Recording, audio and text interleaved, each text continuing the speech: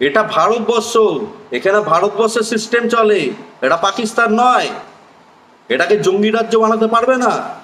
এখানে জঙ্গি সিস্টেম চালাতে পারবে না মমতা ব্যানার্জি। এখানে ভারতবর্ষের সিস্টেম চলবে। ভারতবর্ষের সিস্টেমই চলছে পশ্চিমবঙ্গে।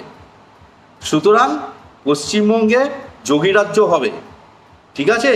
পশ্চিমবঙ্গে এই যে মমতা ব্যানার্জি অপরাধীদের সাপোর্ট দিচ্ছে, অপরাধীদের মাথায় তুলছে এরকমটা আর পশ্চিমবঙ্গে আর অপরাধীদেরকেও মাথায় তুলতে পারবে না। অপরাধীদের ধ্বংস করা হবে, অপরাধীদের ডিস্ট্রয় করা হবে, অপরাধীদের অস্তিত্ব ডিলিট করা হবে। ঠিক আছে? ধর্ষকদের অস্তিত্ব ডিলিট করা হবে, ধর্ষকদের ধ্বংস করা হবে। এই যে মমতা ব্যানার্জি সাপোর্ট দিচ্ছে না, তোল্লাই দিচ্ছে না, যারা ধর্ষণ করছে তাদের যে তোল্লাই দিচ্ছে না, তাদের কোনো অস্তিত্বই থাকবে না।